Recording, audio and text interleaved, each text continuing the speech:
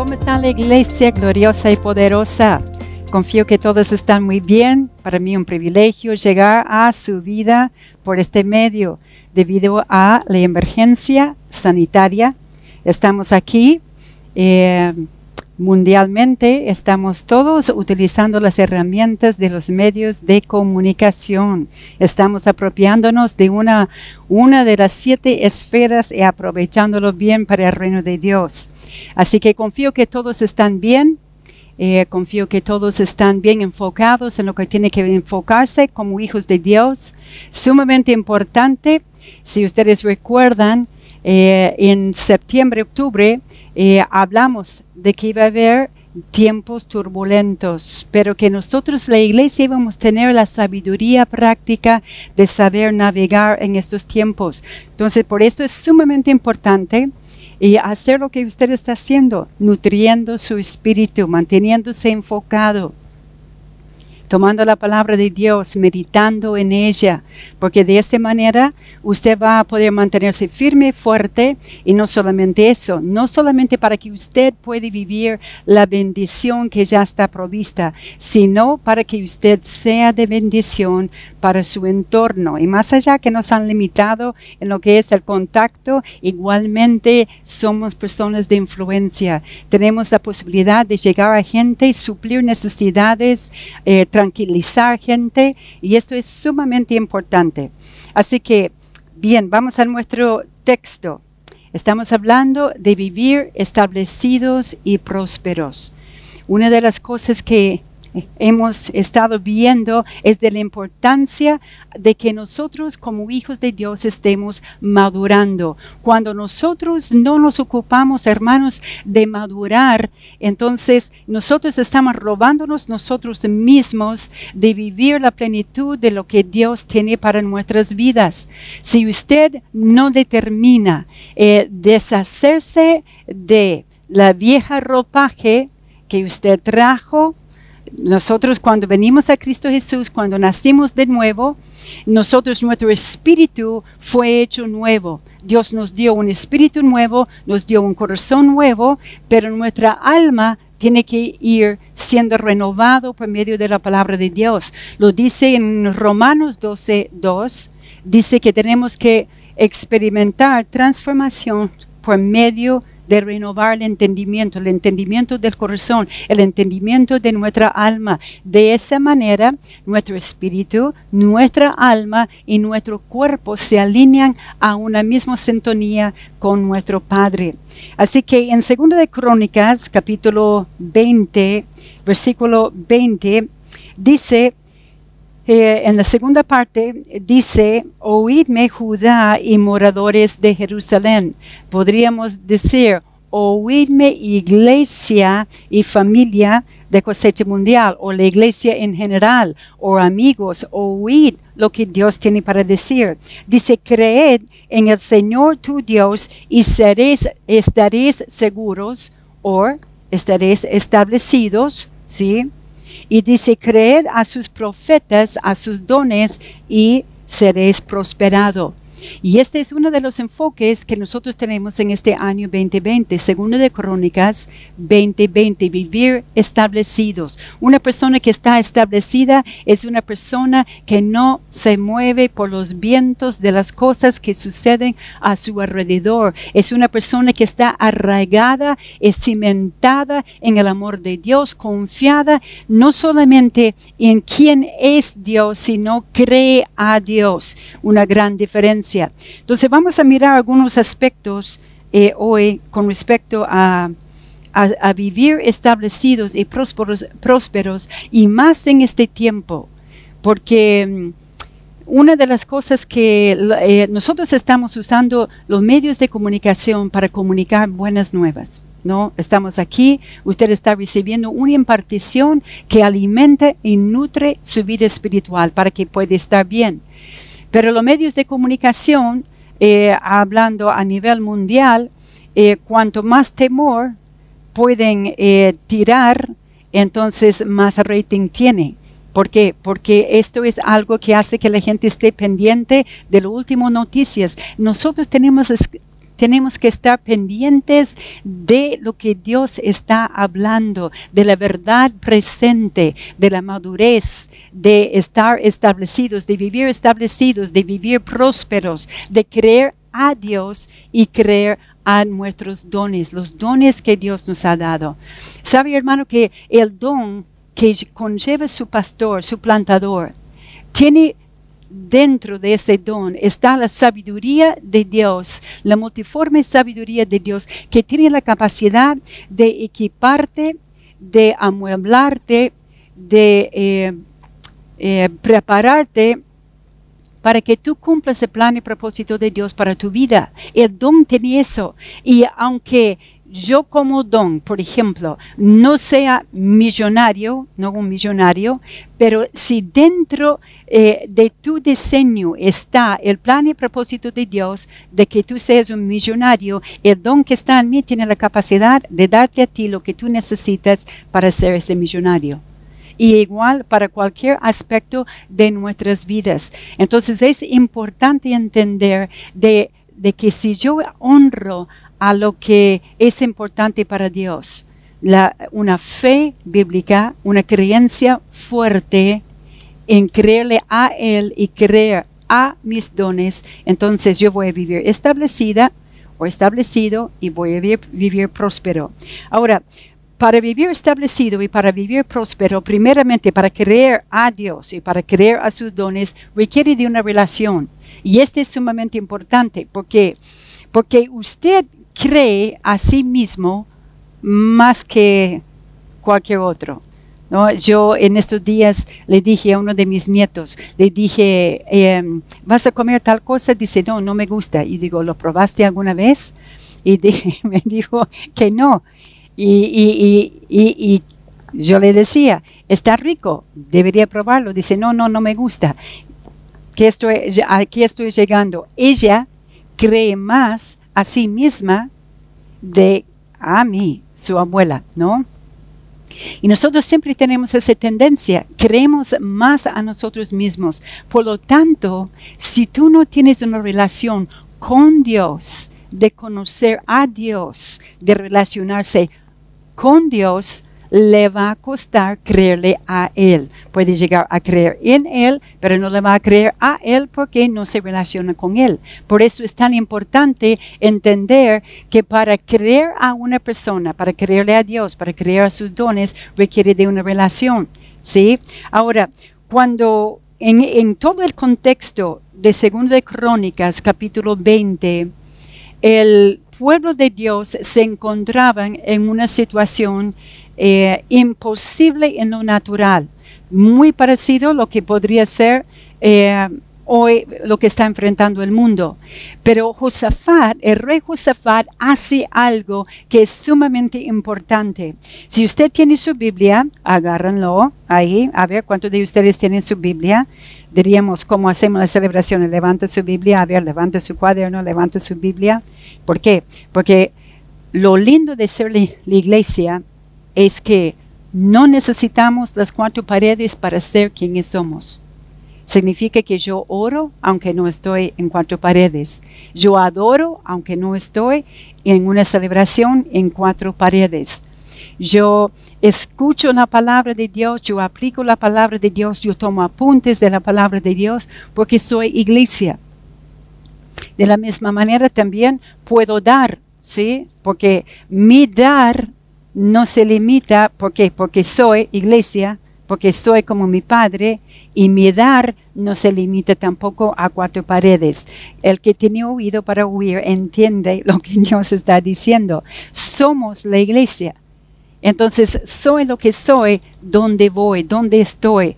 Y no necesito las cuatro paredes para vivir la realidad de quién soy. Así que rey Josafat, él estaba, eh, enfrentaba en una situación y dice, dice que cuando Josafat escuchó las noticias de que había, había venido contra ellos eh, varios ejércitos y que estaban rodeados, dice que Josafat tuvo temor. No sé si eh, usted o alguien que usted conoce en estos días ha experimentado temor, Bueno, la Biblia habla acerca de lo que echa fuera el temor es cuando nosotros estamos perfeccionados en el amor de Dios, el amor de que confiamos en el amor de Dios, hemos creído el amor que Dios tiene para con nuestras vidas. Y cuando el amor de Dios es perfeccionado, entonces se echa fuera todo temor. El relacionarse con la palabra de Dios nos lleva a comprender el amor de Dios para nuestras vidas. Así que dice que él tuvo temor y consultó a Dios. Y después, mire cómo él hace, en, estamos en 2 de Crónicas, capítulo 20, y en versículo 6. Y dice, y dijo Jehová Dios, y, y dijo, dijo, Jehová Dios de nuestros padres, y empezó a decir quién era él Hermano, recuerda quién es Dios. Recuerda que Dios es Dios. Dios es Dios de los cielos y de la tierra. Dios es Dios sobre todo. Él es nuestro Padre. Dice, tú eres Dios. ¿No eres tú Dios en los cielos y tienes dominio sobre todos los reinos de, la, de las naciones? ¿No está en tu mano tal fuerza y poder que no hay quien te resista? O sea, la primera cosa que Josafat hizo era empezar a relacionarse con Dios. Primeramente recordando quién era Dios, no para recordar a Dios quién era. Dios no necesita que yo le recuerdo a Él quién es Él. Recuerda que no, yo hago así, pero en realidad Él vive en nosotros por medio del Espíritu Santo. Entonces estaba Él recordándole a, recordándole a sí mismo, hablando a Dios, de quién era Dios, relacionándose con Dios. Hermanos, es sumamente importante. Si usted no relaciona con Dios a través de la palabra, difícilmente usted va a vivir establecido. Difícilmente usted va a poder creer a Dios. ¿Por qué? Porque no se relaciona con quién es Él. Usted no, no, no conoce quién es Él. Y Josafat dijo, ¿no eres tú ¿No eres tú el Dios en los cielos y tienes dominio sobre todos los reinos de las naciones? ¿No no está en tu mano tal fuerza y poder que no hay quien te resista? Y después él sigue diciendo esto.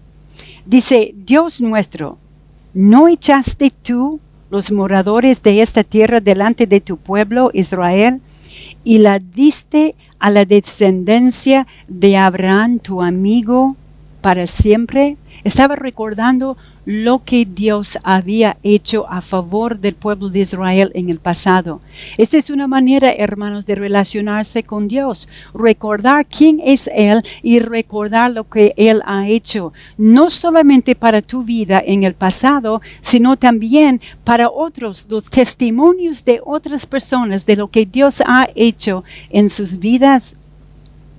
Es el espíritu de profecía que te permite a ti tirar de lo que Dios quiere hacer en tu vida hoy en día.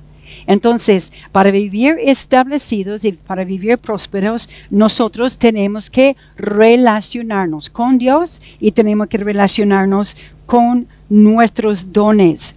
Eh, mire lo que dice en Deuteronomio capítulo 5, y una de, una de, las maneras que nosotros podemos relacionarnos con nuestros dones es siendo muy intencional en dar nuestro oído a ellos. ¿sí?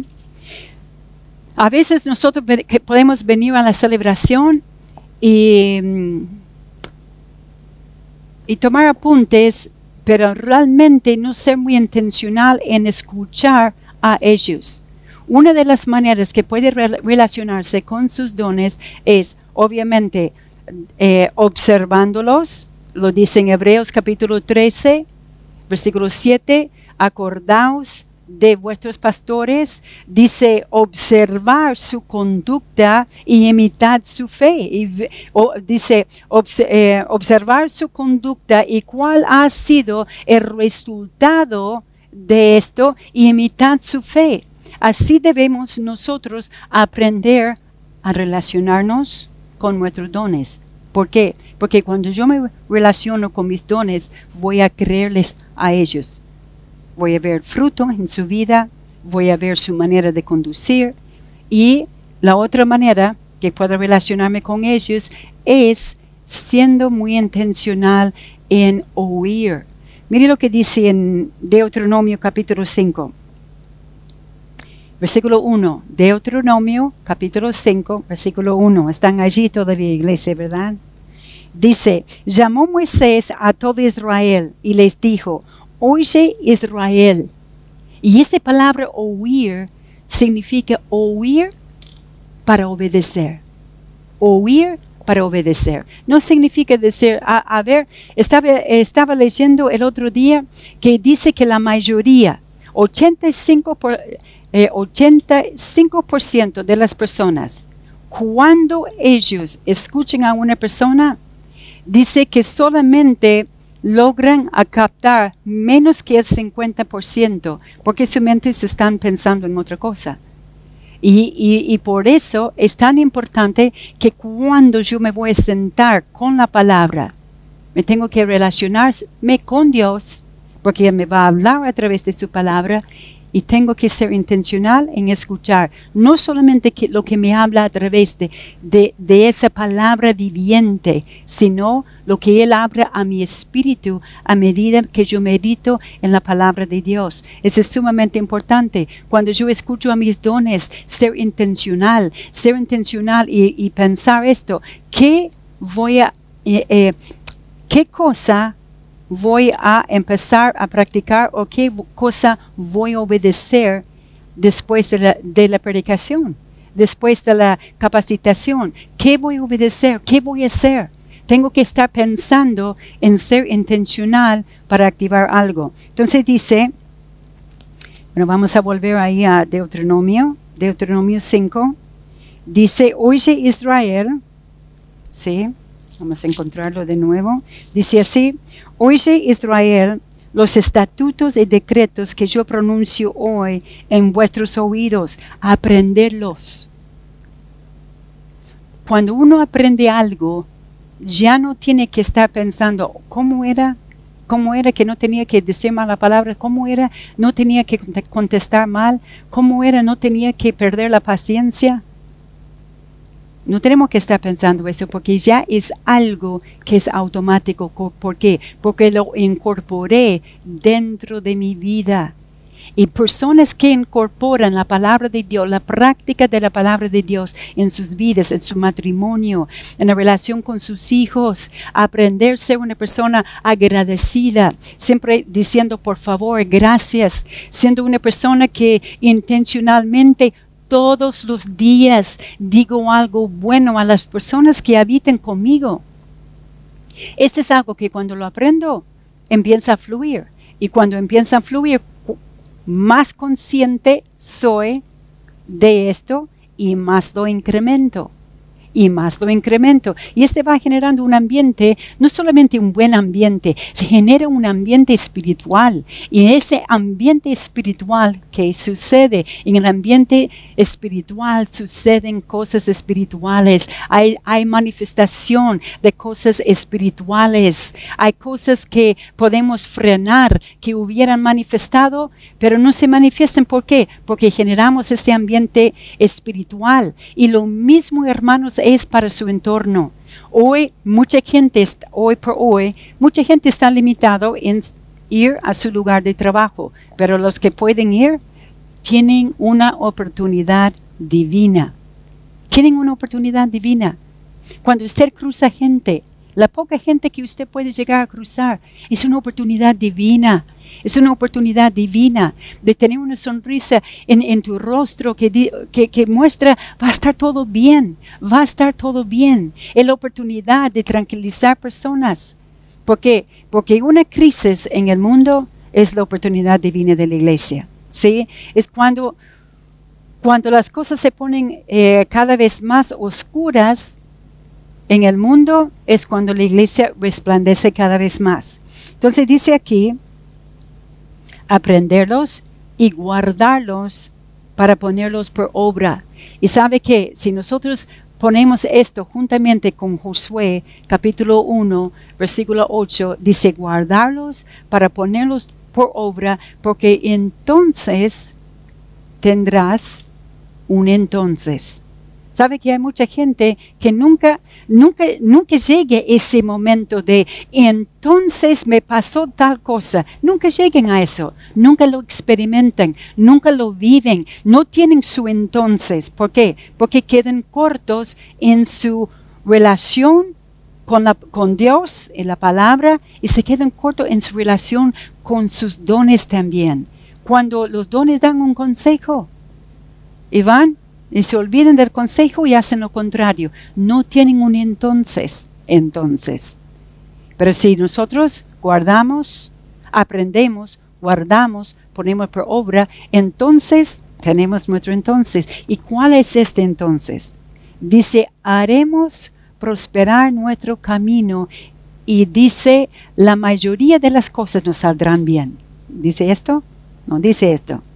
Dice que todo nos saldrá bien. Todo, imagínese, todo lo que usted decide, determina hacer, porque es parte del plan y propósito de Dios, todo va a salir bien.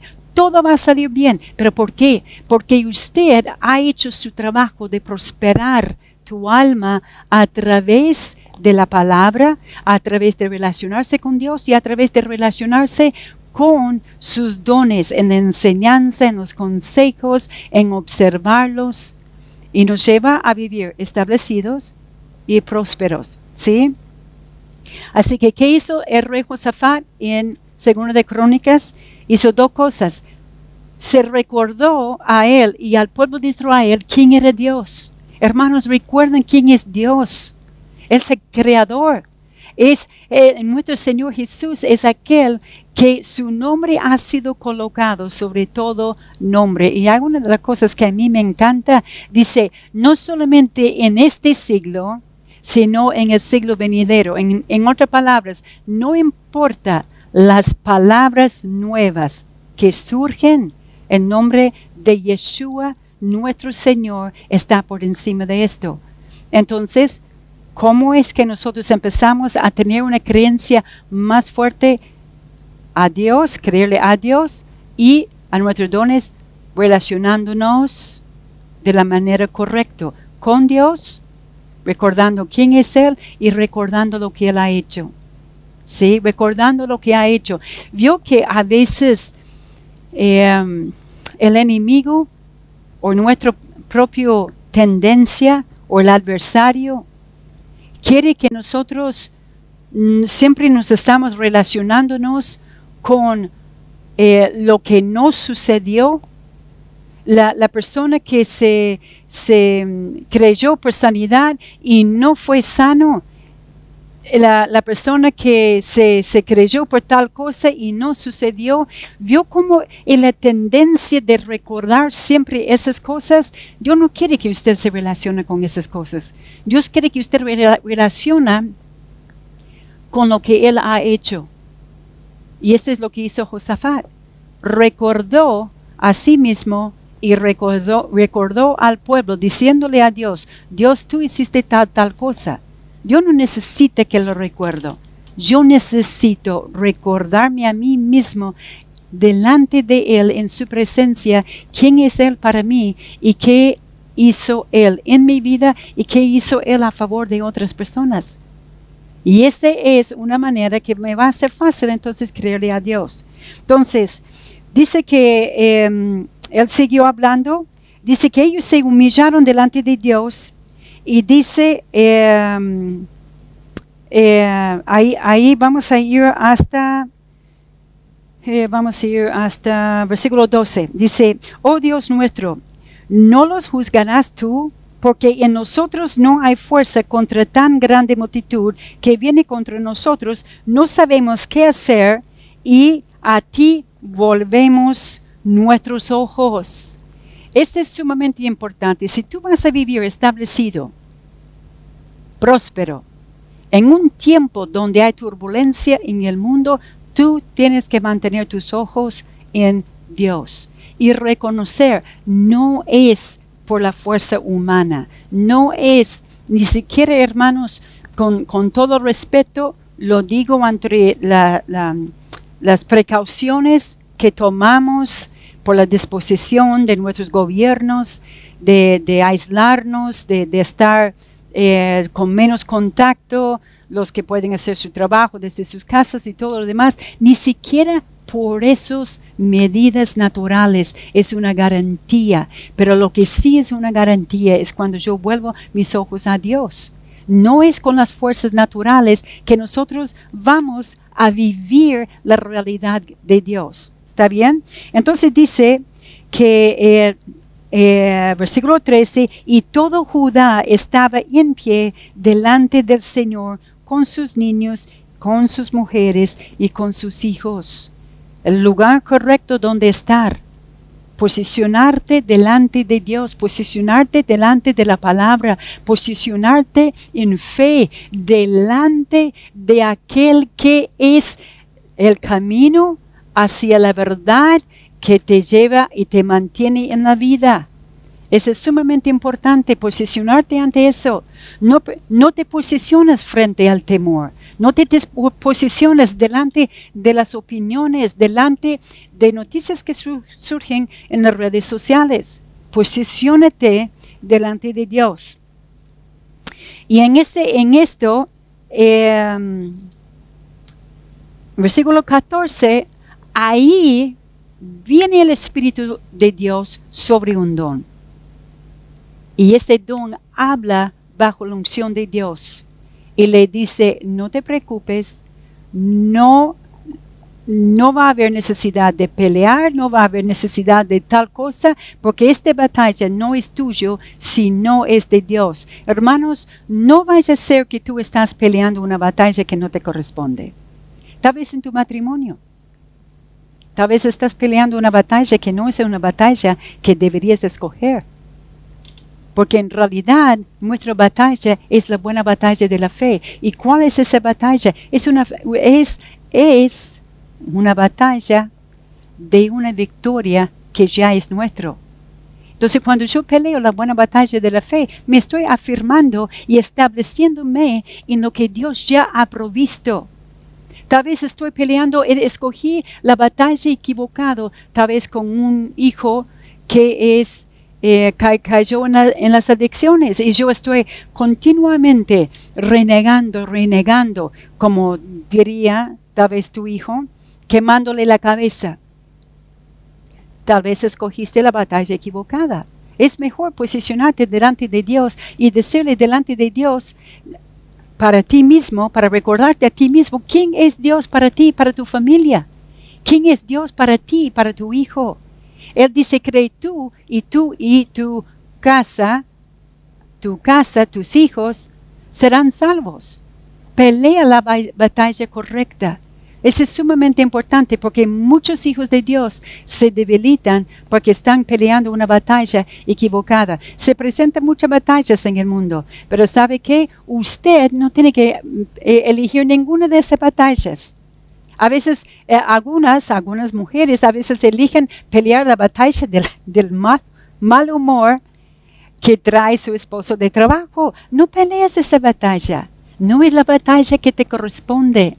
O algunos pelean la, la, batalla, no sé, de, de, un hijo rebelde. O pelea la batalla de un patrón que es ingrato, que no reconoce nada y pelea esa batalla y reniega y, murmura.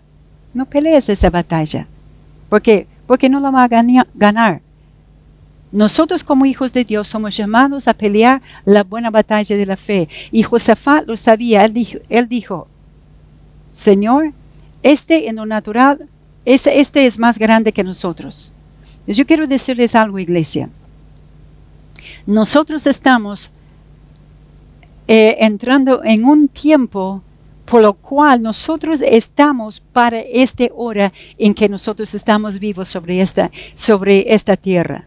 Para esta hora nosotros nacimos y nosotros nos toca eh, manifestar el reino de Dios en medio de mucha contra. Sin embargo, nuestra lucha no es contra carne y sangre, nuestra lucha no es una batalla natural, nuestra lucha no es con las herramientas nuestras, nuestra lucha es una buena batalla de la fe y esta es la victoria que ha vencido lo que está en el mundo, el sistema del mundo, las creencias del mundo, la manera del mundo, es nuestra fe. ¿Qué es nuestra fe? Nuestra creencia.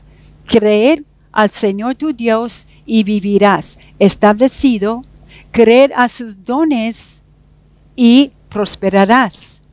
Y sabe que cuando tú prosperas en tu alma, entonces todo tu entorno va a ir a incremento, va a ir a incremento. Aún, hermano, déjeme decirles algo. Este es el momento de entrar en una mayor manifestación de lo sobrenatural. Es, es, es, es el tiempo de subir y levantarnos en otra dimensión de creer por sanidad de impartir sanidad. La Biblia no dice orar por los enfermos, pondrá la mano sobre los enfermos y sanarán. Ir y sanar enfermos es un mandato de la misma manera que tú y yo salimos y predicamos buenas nuevas y lo hacemos de una manera sobrenatural, mente natural, Así tenemos que hacer todas las demás cosas. Sanar, sanar enfermos, echar fuera demonios, resucitar a muertos, experimentar lo sobrenatural. Yo declaro un decreto que en este tiempo donde donde se habla de una crisis económica mundial. Yo declaro y decreto que esta crisis económica es la oportunidad de la iglesia y vamos a, comenzar a experimentar los milagros sobrenaturales de manifestaciones que, que van a venir de lugares inesperados. ¿Por qué? Porque nosotros no somos de este mundo, pertenecemos a un reino que está por encima de lo natural y no, estamos limitados. Josafat reconocía que si él no se tiraba de la esfera sobrenatural de Dios, de que estaban perdidos. Y lo mismo es para nosotros. Si no aprendamos a vivir en dimensiones mayores en lo sobrenatural, vamos, vamos a vivir limitados por todo el entorno natural por lo que pasa alrededor de nosotros, de la manera que nosotros podemos eh, manipular y maquinar, resolver cosas. Nosotros no somos llamados a maquinar ni manipular recursos naturales para traer soluciones a situaciones. Somos llamados a soltar soluciones de reino en el entorno donde nosotros estamos. Entonces, cuando yo vivo establecido, ¿sabe qué es lo que mi entorno me dicta? Voy a decir, no, no, no es mi realidad. ¿Por qué? Porque creo a Dios y creo a mis dones. Me relaciono con Dios, me relaciono con Dios. Me, hago el hábito de recordarme a mí mismo quién es Dios para mí. Él es mi sanador. Él es quien perdona todas mis iniquidades y sana todas mis dolencias. Él que es quien sacia de bien mi boca, de modo que yo me rejuvenezco como el águila y voy a vivir próspero, ¿sí? Ahora, vamos a ir eh, a, para ir terminando, ¿sí? Vamos a ir a, eh, mientras que estamos en el Antiguo Testamento, vamos a ir a eh, Isaías 54, ¿sí? Isaías 54. Mire lo que dice acá acerca de vivir establecidos. Eh, ese capítulo es un muy buen capítulo para el, tiempo en que nosotros estamos viviendo. Mire lo que dice. Eh, vamos a leer en, en versículo em, Isaías 54, versículo 14 dice así, con justicia serás establecido, estarás lejos de opresión porque no temerás y de temor, porque no se acercará a ti. Con justicia serás establecido. Y este es sumamente importante, de entender de que somos la justicia de Dios, de tener la justicia de Dios sin deuda con Dios. Eh, eh, Dios me mira con placer, con agrado, con agrado. Usted tiene que verse de que Dios no solamente tiene buenos pensamientos, acerca de, de ti, esos buenos pensamientos generan buenas emociones entonces Dios tiene buenas emociones acerca de ti. Él mira a ti con agrado, con placer, con deleite. Y esto es importante. Justicia, igualdad y equidad. Significa equidad, igualdad de ánimo. ¿Cuál es la igualdad de ánimo? Donde yo puedo tener el mismo ánimo de Dios cuando yo pienso un mismo, mismo pensamiento con Dios. Y ese pensamiento, hermanos, y este es clave, porque ese pensamiento que realmente renueva mi entendimiento, el entendimiento de mi corazón, trae emociones saludables. Si usted no experimenta una transformación en su estado de ánimo, entonces usted simplemente está poniendo información acá en la mente en la parte intelectual. Cuando usted realmente experimenta transformación en su interior y ese pensamiento se vuelve tu pensamiento, produce en usted, eh, recuerda que es justicia, paz y gozo. Paz y gozo, paz y gozo son estados, eh, podríamos ponerlo de esa manera, emocionales del espíritu y del alma. Paz del espíritu y gozo que rebalsa a nuestro ánimo. ¿Está bien? Ahora vayan a Hebreos 12 y terminamos. Terminamos con nuestra celebración. Qué bueno ser la iglesia. Qué bueno ser la iglesia. Amén. Ser la iglesia. No necesitamos cuatro paredes para ser la iglesia, para ser y vivir quienes somos. Em, mire lo que dice aquí.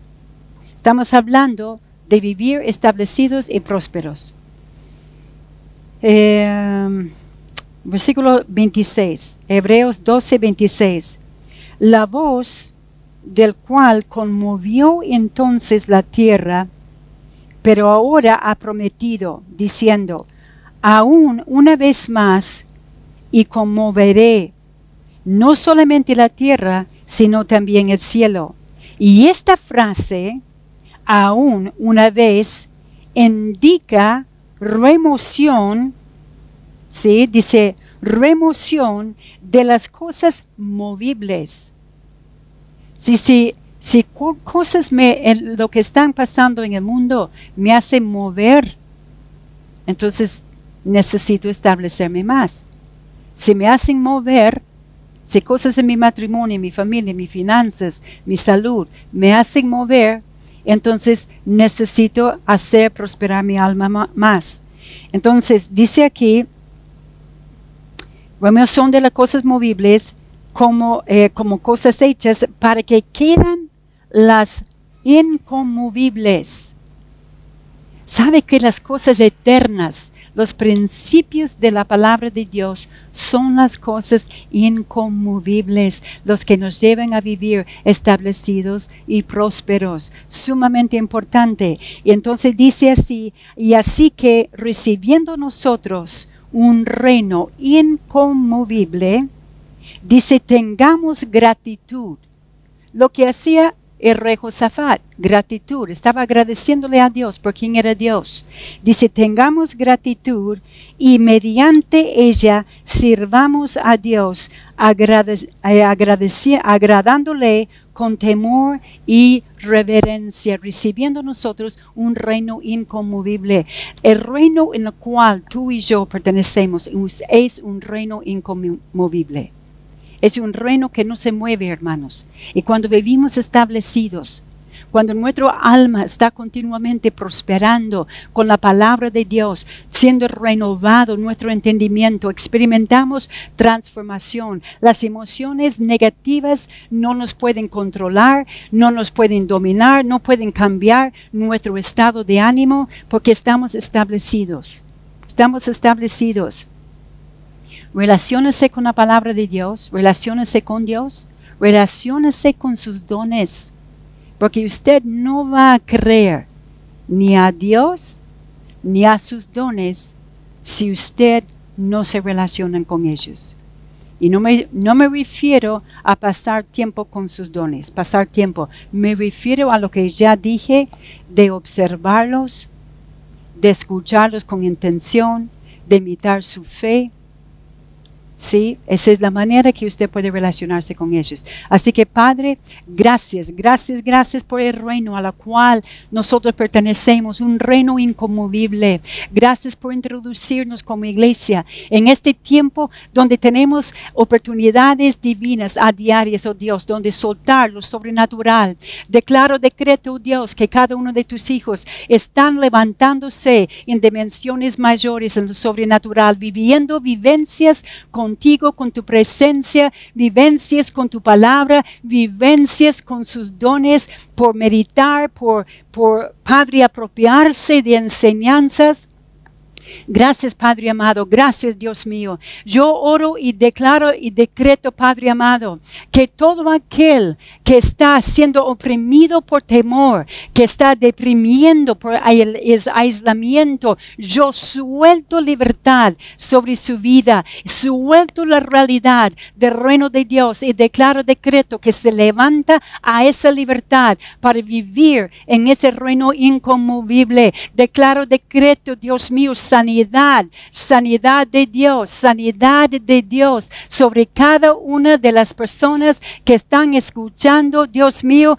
eh, eh, a, a, mi voz, sanidad sobre sus vidas. Declaro decreto, Padre, que sus matrimonios, que sus familias van a más, van a más, Dios mío, no van a experimentar pérdida en este tiempo. El, el hecho, no va a haber opresión ni presión económica que va a generar, Padre, presiones en el matrimonio, provocando discusiones, provocando temor. Declaro decreto, oh Dios, que como familias vamos a estar de un mismo sentir contigo, sabiendo que no son los recursos naturales que nos lleva a vivir vida y vida en abundancia. Eres, es la realidad de tu reino en el nombre poderoso de Cristo Jesús. Así que iglesia, esta semana a vivir la realidad de vivir establecidos, vivir prósperos, ser la bendición que son, suelten soluciones, suelten el ambiente de reino a donde vas. Nos vemos la próxima vez.